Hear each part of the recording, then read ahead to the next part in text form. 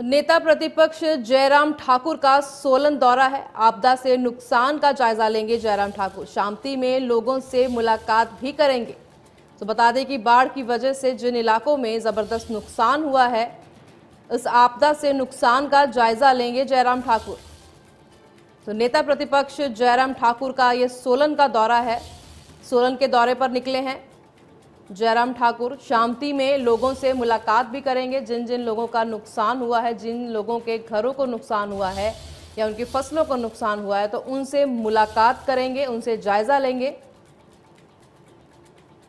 तो आज सोलन दौरा पर निकलेंगे।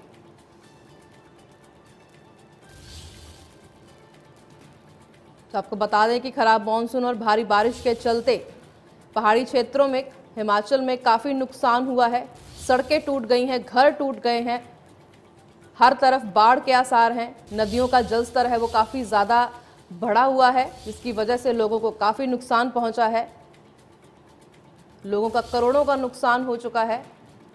घरों के घर तबाह हो गए। लोगों को अपने घरों को छोड़कर दूसरे स्थानों पर जाना पड़ा है। सो इस कुदरती आफत ने जो कहर बरपाया है, लोगों का जीवन अस्त व्यस्त कर दिया है।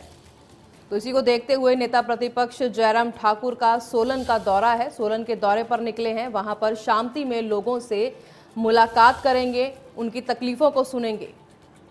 और आसपास के जो इलाके हैं जहाँ पर बाढ़ की वजह से नुकसान हुआ है, उसका भी जायजा लेंगे।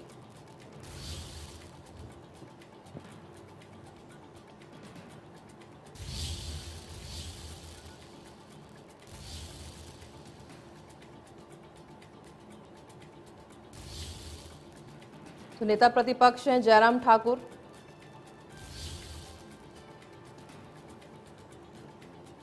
सोलन दौरे पर जाएँगे। क्योंकि बाढ़ की वजह से, भारी बारिश की वजह से काफ़ी नुकसान पहुँचा है लोगों को। लोगों से भी मुलाकात करेंगे।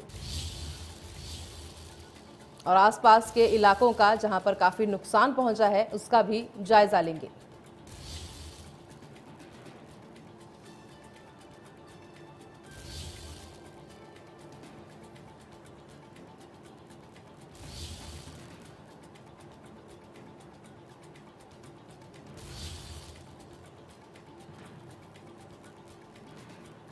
तो आपको बता दें कि इस कुदरती आफत ने बहुत लोगों को नुकसान पहुँचाया है।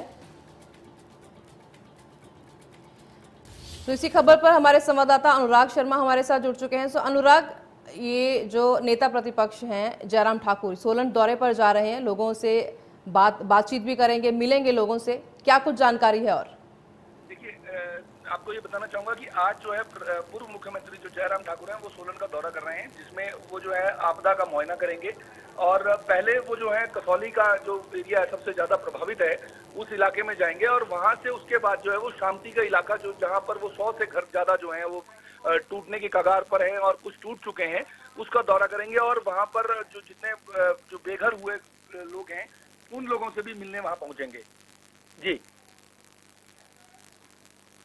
बहुत शुक्रिया अनुराग इस जानकारी के लिए।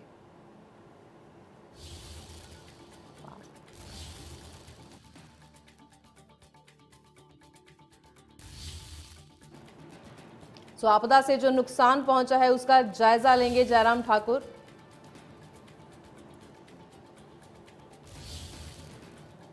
शांति में लोगों से भी मुलाकात करेंगे।